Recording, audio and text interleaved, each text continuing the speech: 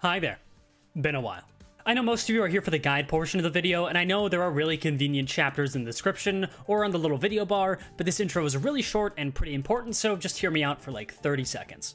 First of all, this guide is not necessarily meant to help you optimize the railway, since optimization can vary wildly between players, and there are a ton of different strategies you can use to get your turn count down, so it would be impossible to list them all here. Secondly, I'll be detailing my personal experiences with the railway so far. So my biased opinions on Railway will be detailed in full throughout and especially at the end of this video. So just be wary of that. Lastly, this video might be a little bit more ranty than my other videos, and I do apologize for that, but if this poll is to be believed, that is what you all want anyways. I'll be starting by going through the team I brought to Railway, and some other IDs I would highly recommend.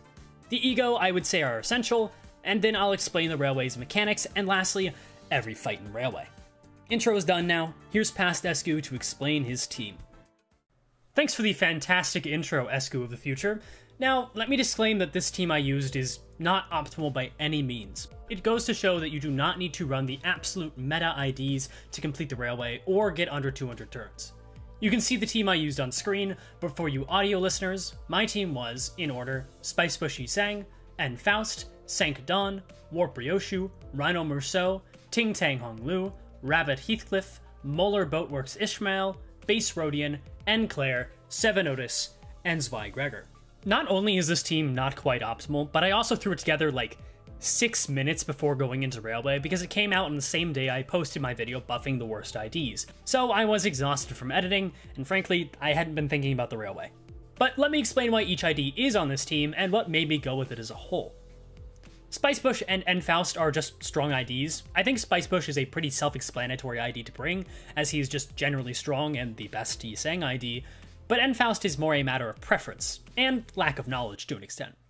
I didn't have 7 Faust at the time, but you really could run either one. 7 Faust has slightly higher numbers and fuels Fluid Sac better, but I'm an Enfaust enjoyer through and through. However, Lobotomy Faust is a fitting replacement as well and is perhaps more optimal if you wish to burst enemies down with Hex Nail, but I'll talk about that in the Ego section. Cinq stands out like a sore thumb on my team. Since W Dawn is so hard meta for this railway, it's disgusting. Simply put, I didn't want to use W Dawn. I made a whole video talking about charge and why I don't like using it, so using Cinq instead, an ID I really like, was a no-brainer for me. This is also the only ID I uptied to 4 specifically for this railway, since having a strong skill 1 clasher is really important due to another mechanic present in Railway that we will talk about. Warp Ryoshu is simply an insane ID. Her damage is almost unmatched, with the only thing bringing her down being a relatively weak skill 1. Out of everyone on this team I used, this is the only ID I would say absolutely needs the uptie 4 to perform as well as she does. The extra coin power on the skill 3 means fights go down way faster, and the extra clashing on Leap can make a difference. Rhino Meursault was an easy bench warmer choice. Most Meursault IDs are not going to do very well for anything besides using Pursuance, which, to be honest, is really good in this railway, since healing is limited and living is based. You can absolutely run Rhino or Warp Meursault, but I benched Rhino for his passive, which gives more max speed to IDs with charge. Ting Tang Hong Lu was another easy choice for me, and another one whose uptie 4 I would recommend, though not to the extent of Warp Ryoshu. Again, strong skill 1s, especially for clashing, are really useful here. Combine that with Shank's insane damage and Mutilate's ability to win every check you throw it at, and Ting Tang is a very solid option for the railway. Of course, K-Corp Hong Lu is a great option. Kurokumo Hong Lu is also an option because numbers are not that high in the railway. I just prefer Ting Tang. Rabbit Heathcliff. Quick Suppression. Section done. Molar Ishmael is almost objectively suboptimal. Uptie 4 Reindeer Ishmael is a beast, with her skill 1 being insanely strong both for clashing and damage, and there's also Mind Whip. So if you have that, use her. She will do very well. That being said, Molar Ishmael or even Shi Ishmael are both fantastic options, though again, less optimal. I think Shi Ishmael can be used as a very solid ID for players who lack other options, since she is given to you completely for free, and her Steel 2 will do insanely well on some specific fights. Base Rodion is here for her passive, giving the highest HP ID 20% more damage on heads coins. This is really useful to speed you up a little bit. That said, since this video has taken so long to come out and I have been sick, Dieci Rodion is a better option if you want to speed up the blunt weak fights. Rose Spanner will also do well, but Dieci seems insanely strong. Enclair is another obvious choice, but don't fret newer players who don't have him, I do not think he is as hard required as you might think.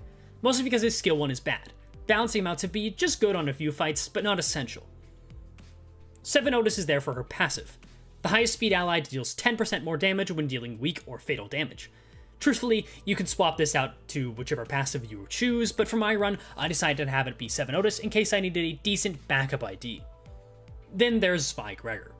You can run G. Gregor for the passive and in battle if you prefer, but I find that the tankiness, speed, and slash skills on Zweigregor make him very good for one fight in particular, as well as being a solid all-rounder. Okay. that is a general overview for the team I brought. You do not have to bring this team, in fact, I would recommend just going all in on charge. W Dawn over Sancton, and Ranger Ishmael over Molar Boatworks Ishmael. Then the team becomes a lot more damaging and solid all around. But again, I do believe, and kind of know, this railway is beatable with almost any IDs, so long as you can get past the first couple of fights and know what you are doing. Sinking is also incredibly potent, with Threadspin for Rime Shank and Dieci Rodion, or any Rodion really, plus Molar Ishmael and Spicebush Yi Sang. The only problem is missing out on Reindeer Ishmael for some other fights, but if you already have these IDs and things you need for them Uptied and or Threadspun, then the Sinking will be very good for you. Outside of that, you can still get creative and succeed with any team, but those two teams really are the best way to do this as fast and efficiently as possible if you want to get low turn counts. Now let's talk ego. To cover my bases, the more ego you have, the better. And there are a lot of ego that can make you have an easier time, but these three are the ones I would say stand above the rest for this content in particular. Fluid Sac, Pursuance, and Hexnail. That's about it really. Funnily enough, you don't even really need Dawn Telepole due to one of the buffs you can choose. I would highly recommend you get at least one healing ego though, even if that is Soda Hong Lu somehow, and build your team to make sure you can fuel it well. You will take chip damage as you go through Railway, so having a way to heal that off is going to be pretty necessary. Hexnail is here because it's really good if you want to lower your turn count, and Elfaust is the best user of it. Envy is an easy resource to maintain on most teams, really, so her not fueling it super well is whatever. But the main thing is the fragility it applies is same turn, and Elfaust can go very fast via her skill too, ensuring the most value out of it. Now I know what you're gonna say. ESGOO, what about Rime Shank? Didn't you mention that it was so good? Well, it is for one specific team. If Rime Shank was more useful overall, without the sinking support, which it is good damage, of course, but Rime Shank is only especially good when you build a team around it. These three ego are good on almost any team. Hexnail, you can kind of make an argument, but the thing is, if you're trying to go fast, you're going to be using those big Envy nukes, at least one of them. And Quick Suppression probably has the best synergy because it is Envy and Pierce, so you get the full 4 fragile value out of Quick Suppression. I'll now briefly talk about the mechanics inherent to this railway specifically. So things are a little different from the first railway. Instead of a straight shot, you have four different points where you will reset and go back to the beginning. Those are after the first three stations, then again after you clear to the fourth station, then again after the sixth station, then the seventh. After that, a full cycle is only completed after doing all eight stations. After each of these cycles, enemies will gain plus 1 offense and defense level, as well as deal 10% more damage. You will also be made to choose a team buff and an enemy debuff. By debuff, I mean buff to the enemies. That's confusing wording. Anyways, the optimal choice can vary wildly based on your team composition, but the debuffs are more objective. There are five debuffs you'll be able to choose from. Opportunistic, which boosts the enemy offense level by 3 if they took no HP damage in a turn, shield damage does not count. Hardening, which increases max HP by 15% and makes all enemies have plus 1 slot weight, meaning AoE is less effective. Accelerating is plus 1 to max speed. Inhaling increases HP healed from skill effects by 30% and makes it so every hit heals by 8% of damage dealt. Then Thirsting, which makes every ego cost plus 1 resources. Let me explain some things about these debuffs and the best order to tank them in, in my opinion. Opportunistic is the best one to take first by far. This should only trigger on a few fights and is not too punishing, though plus 1 clash power over you can be problematic. Personally, I took Accelerating as my second debuff, and I think that it is a good choice. Plus 1 to max speed is not too big of a deal, so long as you're not using it completely slow IDs. If it does end up being a problem on the first turn, you can always retry the fight, and abnormalities will change targets, meaning being faster than you is not that much of an issue. Next is either inhaling or thirsting. Personally, I chose thirsting. The plus one to ego resources consumed means that for an ego like Hexnail, which has only one sin affinity, it only costs one more. But for something like Yi Sang Sun Shower, which is 10 usually, it costs 4 more, since it costs 4 different kinds of sins. This can be problematic, but I recommend saving your ego for the later cycles anyways, and using their early floors to build up as much as possible. Though, do not hesitate to use ego if you need to. Then, on your next cycle, either take inhaling or thirsting, whichever of the two you did not pick. Inhaling is only really a problem on two fights. It is negligible most everywhere else, so long as you are simply not getting hit. Hardening is pretty terrible.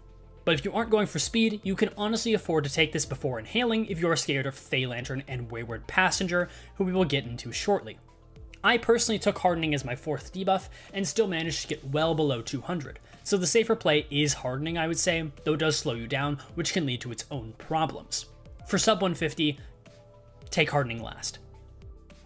So those are all the debuffs. But before we finally talk about the fights, we need to talk about an elephant in the room. Why are skill 1s so important?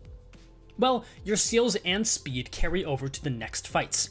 This, for some reason, has made it so you kind of have two decks of skills, and two decks of skills means more skill 1s, and you cannot reset to get rid of them. This is why having high rolling skill 1s is so nice, or having good evades to replace those skill 1s, since having a dashboard with no skill 2s or 3s is very possible. You can also just use Ego, of course, but a reliable skill 1 as a backup will serve you very well to save those resources. Remember, at some point, they will cost one more. Alright, I hope that is every mechanic you need to know explained. Let's get into the first fight, so that no one will cry. First of all, for all of these fights, I'll mostly be talking about the first time you fight them, as most of them do not change significantly the next times you come around to them. So, cycle 0 so no one will cry. Refraction Railway 2 starts off immediately with its hardest fight. I am not joking. Fighting so no one will cry with zero sanity is brutal. You may not think this for the first few turns, but as soon as you do the abnormality check, he will unleash three brutally powerful gloom skills on you that are nearly impossible to clash with without ego. There are ways to make this fight not nearly as scary, but let me explain exactly what he does first. He applies these talismans to you upon using his attacks. These are mostly harmless until they stack up to 9, at which point they will give you 2 attack power down. So read his skill descriptions to see how many of them he will apply to you and be wary of getting that high. Eventually, he will use 3 guard skills and gain a lot of protection. During this time, you want to attack his guards with your allies that have the highest talismans. This will get rid of the talismans on you and apply them to the talisman doll you really want to apply at least 12 cursed talismans. If you pass the abnormality check that follows, you will apply 5 more, but you likely will not eat it, though it is nice. If you do apply 12 cursed talismans, he will gain a massive amount of attack power down, 5 per part, and his scary skill becomes a little less scary. Now, this doesn't make his skill, so that no one will cry, a joke. This skill can and will still fuck you up. The name of the game is Sanity. I would recommend Enfaust for this fight in particular, if nothing else. If your team composition can support 4 Lust skills, Whistles will bring 2 of your sinners up by 15 sanity. If you cannot do this, putting Enfaust on the bench means that you only need 3 Lust Resonance, though it will only hit one sinner. Prioritize getting those sinners to as high sanity as possible, then pray you have a skill that can beat his in a clash once the time comes. Alternatively, you can play to build up Faust Fluid Sac, which is just an incredible ego all around for this railway, obviously. Alternatively, alternatively, you can just try to build up any ego that has a high floor. With the debuffs applied, the So That No One Will Cry skill can roll a maximum of 17, but you can almost always count on him missing at least one of his plus one coins. Most every ego will be able to reliably clash with this, but always be sure to check his offense level to see if it will grant him more clash power against you especially on later cycles when he has higher offense level via opportunistic or just the natural gain. A lot of ego have a deceptively low offense level, so bear that in mind. Of course, So That No One Will Cry will use three of the So That No One Will Cry skill. One of these will be on the body, and two will be used by the right arm. If you have enough damage, you can redirect one of his So No One Will Cry skills on the right arm all the way down the dashboard and instead rush to stagger the arm. This will cancel the need to clash with either of those skills, you would then only need to clash with the one skill on his body. You may end up taking some unopposed attacks, but so long as it is not the So No One Will Cry skill hitting you, you should not take devastating damage. After you get past the first turn he uses the So No Will Cry skills, you should be at much higher sanity, and the rest of the fight should be no problem until you take him down. He will do the same 4 turn cycle for the rest of the fight, so there should be no unexpected factors to catch you off guard.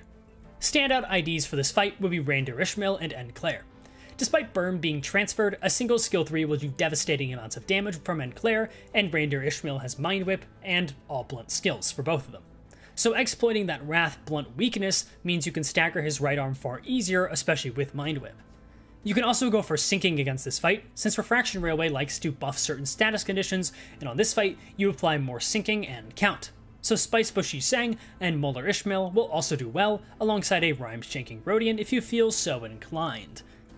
I'll give my thoughts on every abnormality after I talk about them and what my personal experience was. So for this fight, I used the Enfaust Whistle strategy to brute force my way through this fight. The three other times I fought him, this fight was a snooze fest. I'm sorry, but I really have nothing else really interesting to say about him. It didn't help that I didn't use Reindeer Ishmael to lower the amount of time I spent on this fight, but every time I fought him after the first time, I was completely not paying attention. The first fight you do with him is interesting, just solely based on the fact that you have zero sanity, but then he quickly becomes the most uninspired fight in Railway. I'll also mention this now, since this is the section people are most likely to watch all the way through, but it would be impossible for me to mention every potentially good strategy for every fight. So I pass some of the work on to you all in the comments, who have maybe done more runs than me or more limit testing than me. I would appreciate it a lot if you would help me help everyone else by saying what you did for certain fights or things I may have missed, or, God forbid, gotten wrong. With that said, let's talk about Steam Transport Machine. This fight is the definition of annoying, but not too hard. I actually really like the mechanic here conceptually, where he switches from defensive to offensive depending on how many turns have passed in the railway as a whole.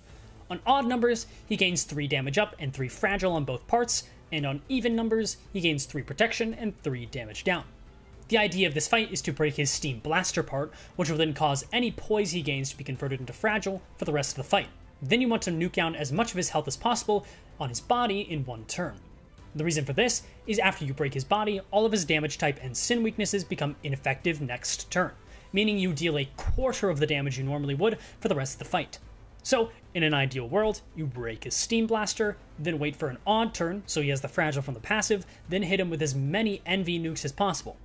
I would say as many Sloth nukes as possible, since he's fatal to Sloth instead of just weak, but there are far more Envy nukes in the game than Sloth, but once Olga Otis comes out, she will do very well in this fight, as well Dieci Rodion does well. However, this fight ramps up as more turns pass, and therefore as more cycles pass. By ramps up, I mostly mean that it takes a lot longer. When he has 50 plus accumulated past, which accumulated past is just equivalent to the amount of turns gone by, Steam Transport Machine will heal for 200 health when he is below 80%.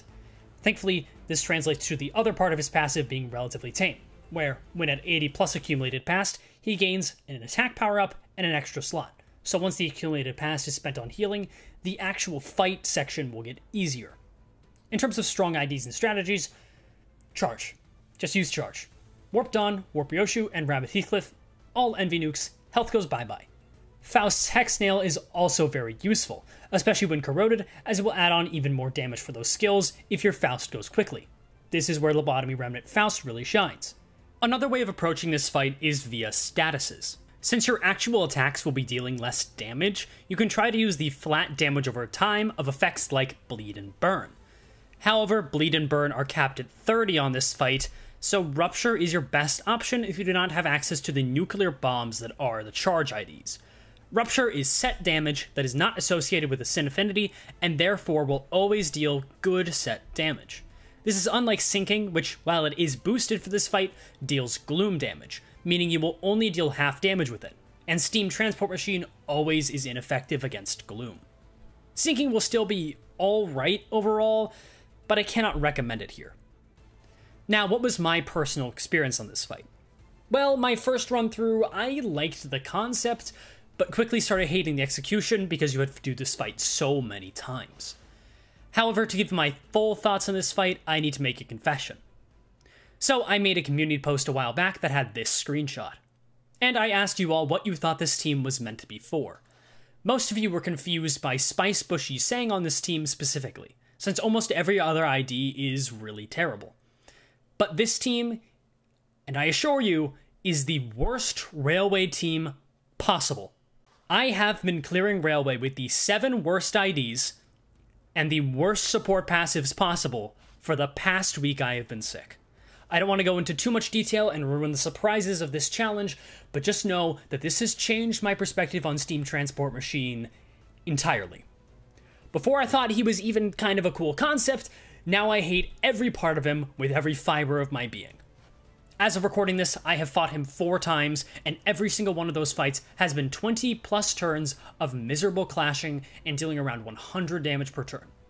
This fight is awful. However, it can be somewhat fun if you manage to nuke him down properly. I can see the potential satisfaction, and I had it myself, but really, come on. The gimmick of the fight should have stayed all throughout. Instead of being ineffective for the entire rest of the battle, he should have swapped between being ineffective and fatal against everything, staying with the same gimmick as before. I have no idea why they decided to make this so awful. So, Drifting Fox is a fight that doesn't really have much strategy to it. The Fox will start the fight with a certain amount of protection that will increase per cycle, then after 3 turns, it will summon umbrellas, lower your sanity, and punish you hard for attacking it via a new Thorns mechanic. From there, it is a rinse and repeat type fight, where the only main focus is getting rid of the umbrellas as soon as possible. It is worth noting the amount of umbrellas summoned will also increase per cycle, slightly increasing the difficulty each time outside of the protection and universal buffs. Really, this fight is just about dealing as much damage as possible, like every fight in Railway, and playing smart with the umbrellas. The fox lowering your sanity by 20 on the turn where he summons the umbrellas sounds really scary, until you remember that the umbrellas are level 35, meaning you gain sanity from defeating them, so once you defeat all the umbrellas, everyone should be topped off for the next round where the fox uses a big mass attack. So you should be able to easily clash that with Ting Ting Hong Lu's Mutilate, similar high rolling skills, or a powerful ego. That's honestly about it. This fight should cause no real issues, besides being a bit of a time waster, because it has protection for two turns and punishes you very hard for attacking it on the third turn, meaning killing this quickly is a bit of a struggle. Zweigregor does great here, since his skills align very nicely with the Sin Affinity and damage type weaknesses of Drifting Fox.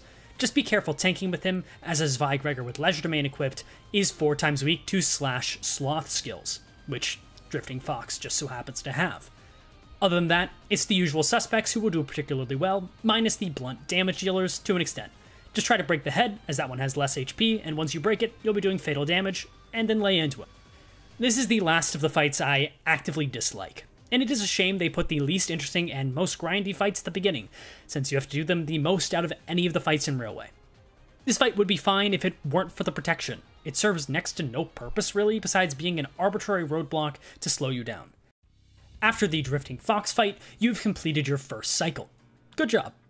You'll take the opportunistic debuff, and now let's talk about the buffs you can choose for yourself. Again, this is very much team dependent, but generally you'll want to take the Sin Affinity boosts or the status boosts. The Sin Affinity boosts are a very strong plus 20% damage to all skills of that Sin type, meaning if you are running a charge team, which has 3 Envy nukes, take the plus 20% Envy damage. It's really strong.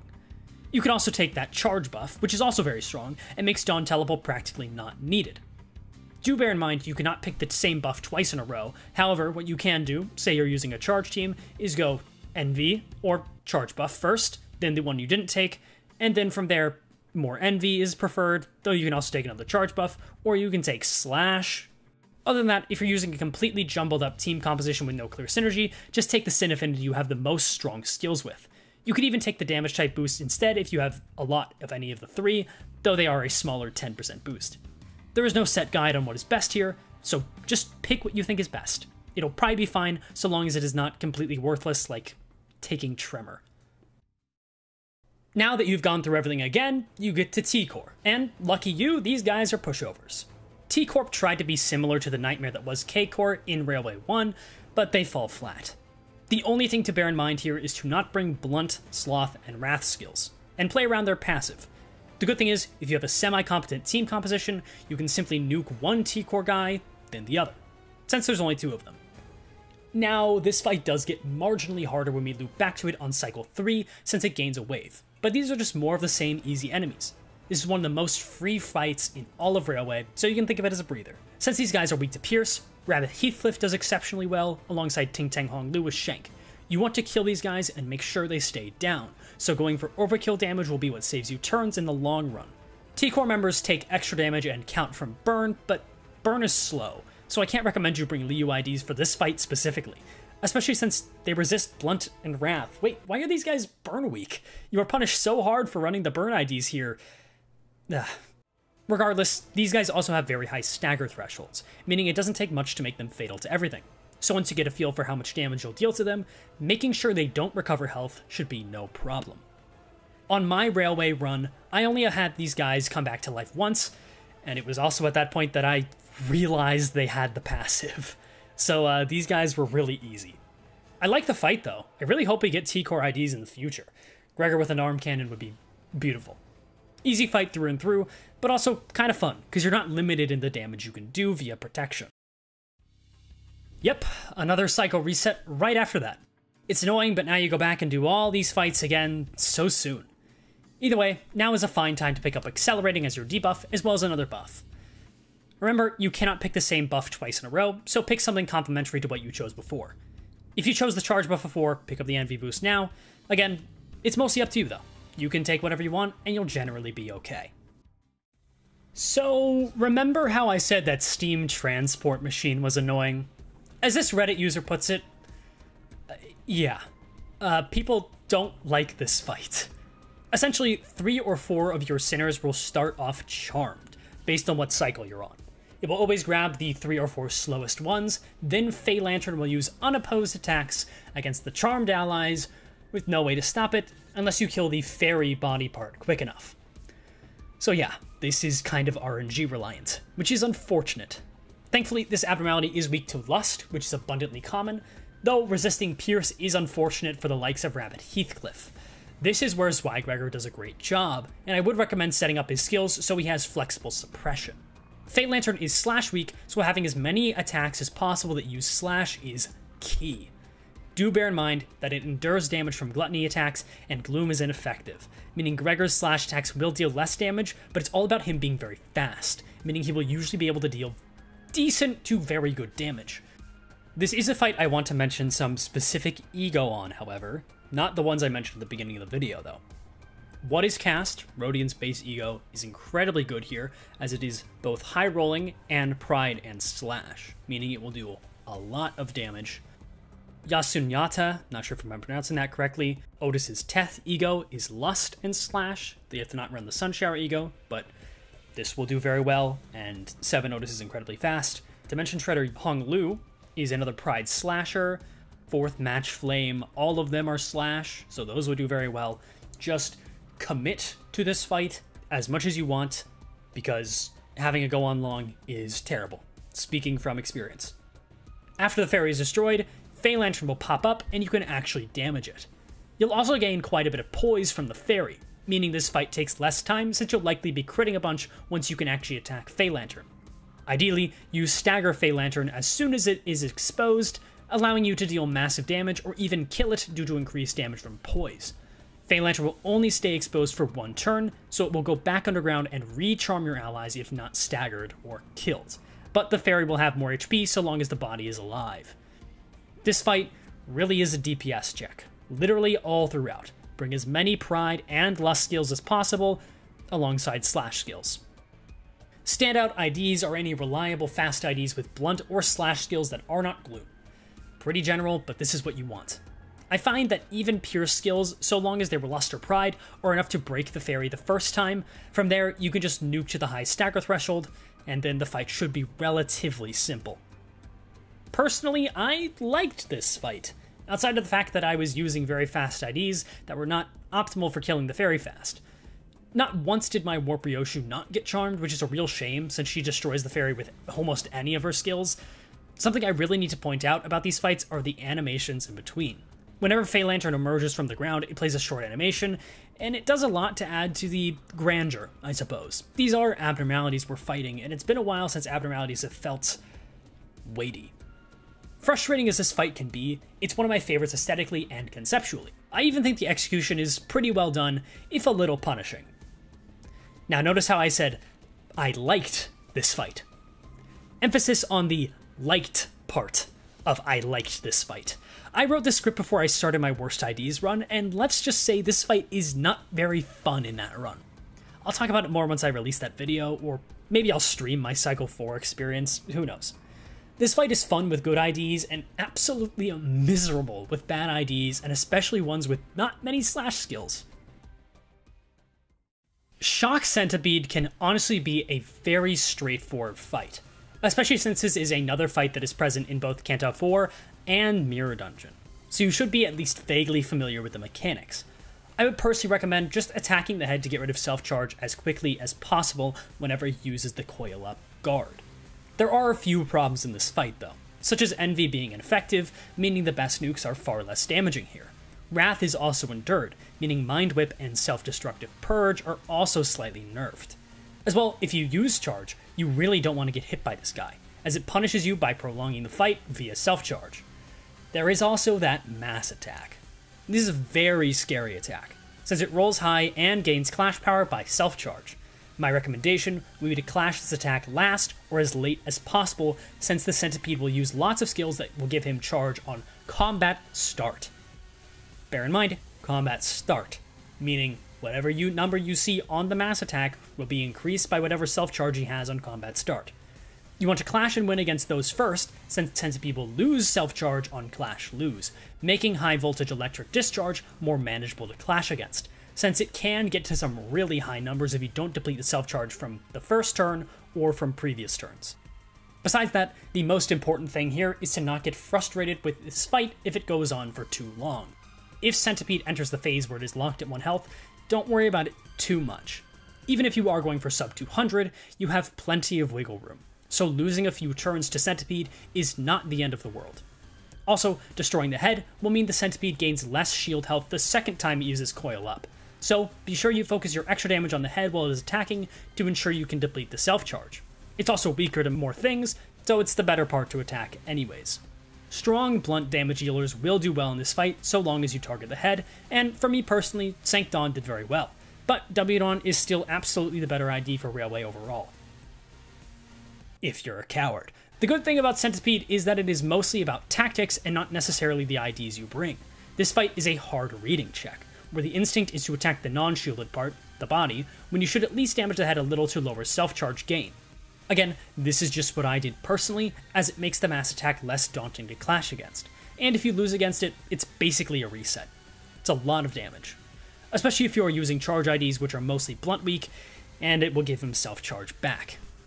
Again, even going for sub 200, so long as you do the other fights decently well, you can afford some turns on Centipede. Sub 150, different story. But save yourself some resets by playing it a little safe. However, if you do want to bring a team of any kind, Sinking will do you well. Centipede is weak to Gloom, and has the Sinking debuff as part of Railway. So, I don't hate this fight. I did until I realized that just attacking the head meant you can bypass his one health nonsense, but now I don't think it's that bad. I do think that Brazen Bull should have had this spot instead, as he could have been a much more interesting fight. There's not a lot of high clashers in Railway 2, so I think Bull being an ego check could have been kinda cool, but I know a lot of people would disagree with me there.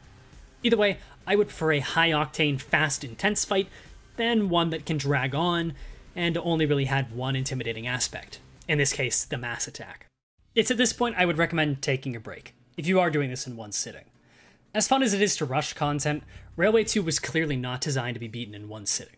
Some will do it anyways, like me, but that is just my advice. For this pass, you want to take Thirsting. You should have plenty of ego resources at this point, and even if you don't, the plus one should not completely cripple you. If it does, there's probably something fundamentally wrong. Just remember, you do have ego. On my first run, I think I only used 20 ego or so, and ended the railway with well over 100 resources for almost every sin. So use those resources if you think you need to. Save them if you don't.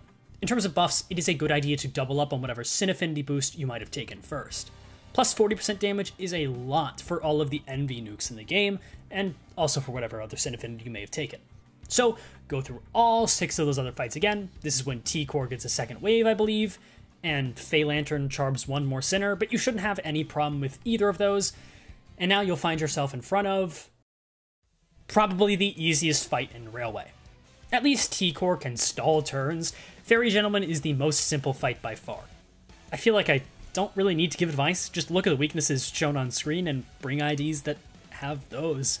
Th- that aside, just be sure to break the fairy wine when he offers it and let him hit your sinners that have tipsy. The one thing to be wary of in this fight is if two of his I'll take this attacks target the same sinner. It actually will deal damage and a lot of it. I have not seen this happen myself, but if it can happen, it is easily offset by simply redirecting with another sinner. If he does target three different people, you can just unleash unopposed attacks and ignore him for a quick kill, since he will stagger himself the next turn after he does those three attacks. An unbelievably easy fight. So Fairy Gentleman is weak to Envy and Wrath, so he dies very quickly from the usual suspects, staggers right arm, then honestly throw whatever you got at him. So my thoughts? Well, I just really like Fairy Gentleman. He's a funny guy, so this fight was pretty much just like meeting your favorite uncle at a family reunion, but he gets too drunk so you have to beat him up, but still, it's a pleasant experience overall. Definitely one of my favorite fights, simply because, I mean, look at this guy. Come on. And yep, once again, only one new fight and another cycle. This is the cycle that upsets me quite a bit. It means you only fight Wayward Passenger once, at least if you're sane and are only doing five loops. Doing a second full loop as your last one would make a lot more sense and be a little bit more fun in my opinion, even if it slightly extended the railway overall. At this point, choosing Inhaling as your debuff is likely best. However, if you feel like you will struggle against Faelantern in particular, Hardening is okay to take. Faelantern can get really out of control with self healing, so Hardening is the safer play, though it makes your railway far longer. The Fairy Gentleman slash Fairy Longlegs dual fight is the most fun fight in Railway, in my opinion, though it is still pretty simple. You should already be pretty familiar with how easy Fairy Gentleman is, and while Fairy Longlegs does make the fight significantly harder, he is not too complicated himself.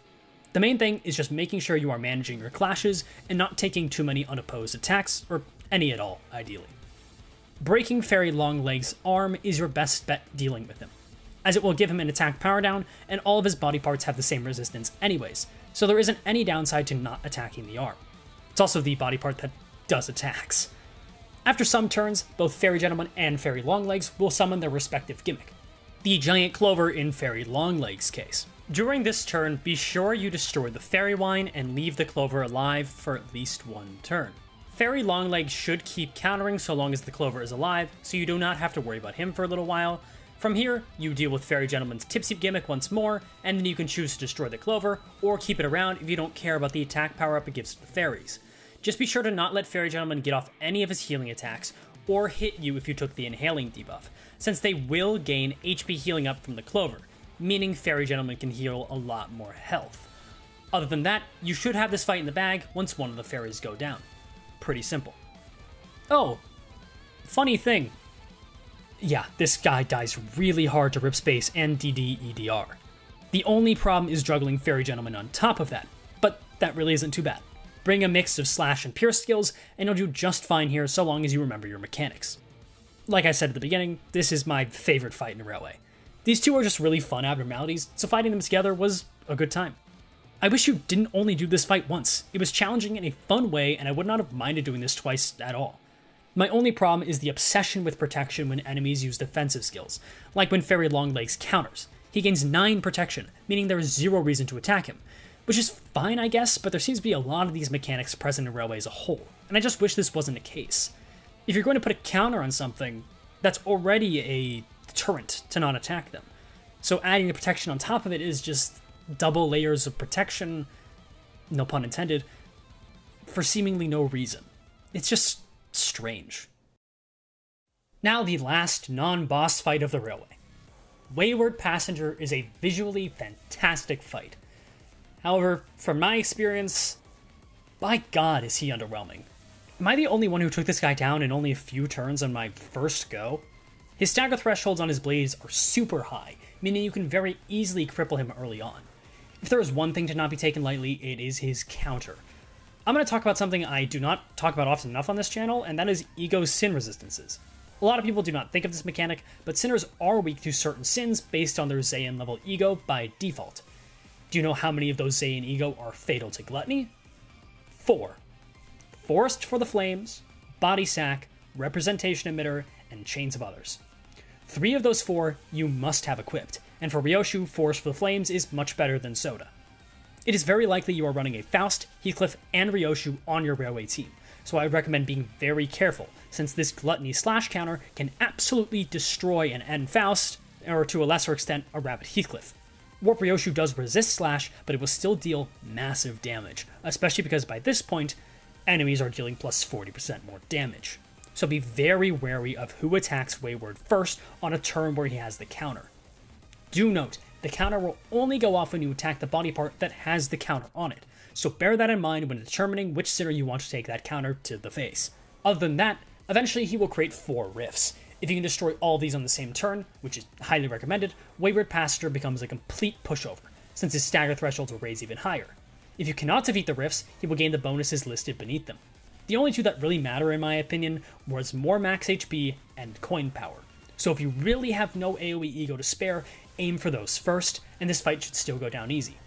If you are doing this fight on the fourth cycle as you should be, the funny high-speed rip space move that's been going around should not be a concern, since it is not used until a ways into the fight, and is only super dangerous to clash against if you haven't been destroying rifts. Lastly, if you are struggling with this high speed at the start of the fight, you can always retry the fight until he is not targeting the same sinner twice. It is a bit frustrating, as I had to do this myself on the first run of Wayward, but it is better than having to take unopposed attacks, since by this point, enemies deal a lot more damage, like I said. Don't overthink this fight. It throws a lot of mechanics at you, but few of them actually matter, so long as you're dealing enough damage to take him down quickly. And even if you don't, a prolonged fight should not be the end of you. There aren't any particularly strong IDs here, since he isn't weak to any damage type, only sin affinities. I would say the most important thing is having a relatively healthy or tanky sinner who is not slash and or gluttony fatal to take the counter if possible, since that is the most tricky part of the fight, in my opinion. Other than that, the usual charge IDs are going to be a little bit weaker than normal, simply due to Wayward Passenger heavily resisting Envy, but you can still absolutely get by. Personally, I was underwhelmed by this fight, as I alluded to. The visuals were great, and I love how funny he looks, but no one really struggles with this fight outside of the counter, and no one really talks about it since this is one of the two fights you only do once in a five cycle run, with the other being the final boss, which is obviously talked about. So while I don't dislike any aspect of this fight, besides the counter being a little scummy and preventing high loop runs, I do wish Wayward Passenger lived up to his hype a little bit more than what we got. That being said, by the time I'm recording this, I have not gotten to Wayward Passenger in my worst IDs run. I imagine my opinions might change. This is the last rotation that sane managers will have to do. Take your last debuff, and for a buff, if you really need it, healing is not a bad choice for the fight that's coming up, but more damage is always great as well. But if you made it here, pat yourself on the back. You're in the home stretch, and all you have left is Sign of Roses. First of all, you should just do this fight yourself. In my opinion, this is not a really difficult fight, and is pretty cool to do yourself for the first time, so long as you read. So I will highly recommend that if you are looking at this video for advice and watched all the way to here, thanks for watching by the way, subscribe and all that, but at least try this fight first. Be sure to read up on its mechanics, and then if you are still struggling, come back here. Alright, now that like maybe one person followed my advice and has gone to do the fight, let's talk about Sign of Roses. As the fight starts, you can attack the flesh right off the bat. The reason for this is that it has less health, and destroying it takes away from Sign of Roses' overall health leading to a faster kill. After the mass attack is used, a colored rose will spawn corresponding to each sinner's skill 1 sin affinity. Most of these roses have relatively harmless effects, or just like to try and stick around however they can. Except for the Wrath Rose, which will deal damage back to you when you kill it, so try to minimize the amount of IDs with the Wrath skill 1 you bring into this fight. For every turn a rose lives, the sinner corresponding to that rose loses 25% of max HP. The center that each rose is attached to is listed on the bottom in a small little icon. You have to read a little bit to get there, you can do it. In addition, the roses will drain your ego resources for every turn that they are alive, corresponding to the sin affinity color they are. After three turns of a rose being left alive, the bonded sinner will die. That is about it, but there are a few more things to note. When given the abnormality choice, choose to accept. Then choose whichever sin affinity is your most common. After doing the check, you deal and take 10% more damage of that sin affinity you chose. Choosing decline is never really worth it, as I believe it just makes you more tanky, which we don't care about. The main thing here is that flat damage. So taking less damage overall, who cares? The roses are ineffective against all sin types except for the color that they are, so bear this in mind when trying to take them down as efficiently as possible. AoE Ego will also work well, but even if one of your sinners die, it is not the end of the world.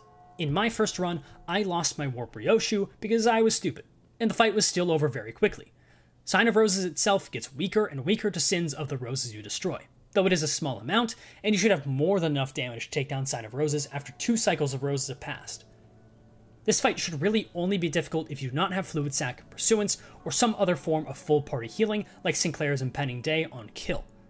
Pay attention to which sinners will still be alive by the end of your skills, do some math, and be sure to keep your low health sinners alive as long as possible by focusing their roses first. If you took healing from the last Railway buff and can keep up with the roses enough to kill them, this fight should be one of the easiest in Railway. I know it was for me. Standout IDs are Spice Bush Sang. Fitting because of the, you know, flowers and all that, but if you have Sun Shower Ego, that plus his passive will help destroy more roses faster, which is always a good thing. Other than that, try to avoid bringing Wrath Skill 1 IDs. Rabbit Heathcliff can afford to sit this fight out. He will likely cause more harm than good, though I kept him around, it's not that big of a deal. Now, what do I think of Sign of Roses? Well, I do think this fight is cool, but ultimately I was slightly underwhelmed for a final boss. Take MFE or My Form Empties. Going into that fight for the first time and seeing it was a WAW level threat alongside the creepy music was an atmosphere that was deserving of a final boss. Sign of Roses took a different approach, more of a serene uneasiness. While this was effective in its own right, I still think My Form Empties had the better impact by far. The Rose mechanic is a little bit of a boring DPS check in a railway that was already so full of DPS checks. It's also interesting how both final bosses we have experience for Railway implied that the abnormality itself isn't that threatening. Simply what it summons is what makes it so dangerous. All this to say, I did enjoy the fight. It was not bad. I simply wished it had something more to it. After you've conquered the Sign of Roses, you're done. Claim your rewards, and never look back unless you want the cool banners or you hate yourself. I fall into both of those categories. This ends the guide portion of the video. I hope I covered every fight in sufficient enough detail to help you all through Railway, or maybe you just thought it would be interesting to hear me talk about the fights. But now I'll talk about my thoughts on Railway as a whole, so if you don't care to hear that, by all means, this video ends now. For the rest of you, let me talk about my conclusions on Railway as a whole. If I had to summarize my thoughts into a phrase, I would say this railway was a mixed bag. Redoing Talisman Doll, Steam Transport Machine, and Drifting Fox four or five times was the exact opposite of fun. They seriously put the most dull and or long fights at the beginning, which is really unfortunate. Now, would swapping any other fights at the beginning help? Maybe, however, the point remains that doing the same fights again and again is not very fun. I'm recording this after editing all the rest of this video, and I'm currently sitting on cycle 4 of my worst IDs run, and as I hear more and more negative criticism of Railway 2, the more I am inclined to agree. The fights drag on, some of the fights demand a very specific team composition, Faelantern. The worst thing about the Railway, though, is putting those interesting fights so far down the line. To fight Wayward Passenger, you need to do more than 30 fights, I believe. That is ridiculous. Railway 1 had its own problems, mainly the Snake Inquisitors fight, that was just miserable, but looking at that now, the fights we had here are not much better. Steam Transport Machine could be considered about as bad. I do think the challenge of high loops is interesting, but since the sinners do not scale nearly as well as the enemies do, you fall behind quickly, leading to an abominable uphill battle. However, doing my worst IDs run has also given me some seriously good perspective. This content is fascinating because it is truly an endurance test if you want it to be. For people using the best teams, The five cycles are less of an endurance test and more of a race. And while that is fine and is fun in its own way, look at the footage I'm running in the background. This is cycle 3 Centipede. Every turn takes a long time to sort out. Part of that is because aggro is terrible for me because slow speed, but I'll get into that when I release the video on the worst IDs, maybe beating Railway. Don't even know if it's possible yet. But personally, I miss that complexity from Ruina a lot. Fighting the later receptions could take an hour plus. Figuring out the right combinations of things to do is fun for me. While Limbus is more limiting, there is a surprising amount of depth to be found in its dumbed down mechanics. I would not make videos on Limbus if I did not fully enjoy those mechanics. Though, of course, there is the matter of RNG, and RNG is less and more present here in Railway 2 compared to Railway 1. Less because there is no resetting for skills and speed, and more because there's no resetting for skills or speed. You have less control over what you can do, so you do end up having to reset more when things go your way. As in, later into the fight. Before, you wouldn't even start a fight until you had an optimal setup. I do think I prefer the Railway 2 way still, but just barely. The abundance of skill 1s make IDs like N Clair a lot less fun to use, but it also makes IDs like Sanct Don more fun to use. It really does kind of balance out in the end. I made my thoughts on the cycles pretty apparent, I think, but come on. We should have only had three cycles.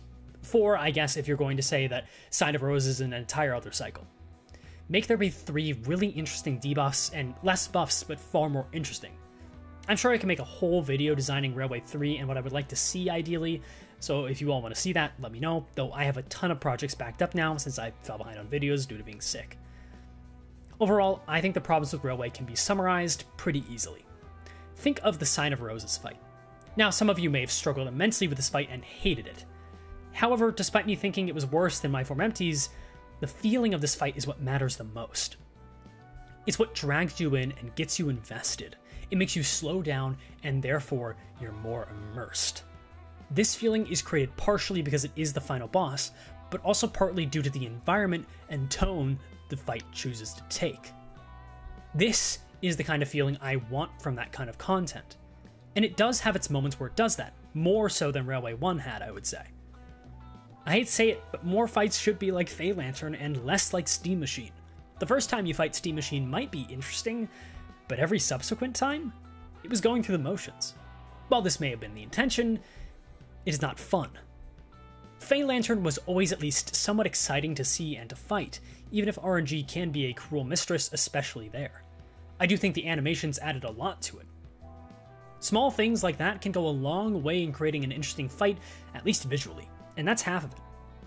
All of this to say, I did enjoy this railway. Was it frustrating, and is it frustrating? Yes. Were some of its mechanics overbearing and anti fun? Absolutely. Do I necessarily want to run this for speed? No. I think undeniably my passion of a low turn count has been lessened by the length of this railway. Do I still think the first time through is a good experience, though? Mostly. This thing is entirely subjective. I have seen people hate the railway, and I have seen people who love this railway. I think both are equally valid. However, I would like to see the first railway return most of all. It was a better testing ground for IDs than most anything we have now. I hope that rant was sufficient for you all, but knowing some people who watch me, I will still be told this rant was not enough. I need to make a three hour video ranting about Ishmael. But that would be crazy to do. That is all for me. I'm exhausted from editing. Really hope you enjoyed the video and or learned something. And as always, this video ends shortly.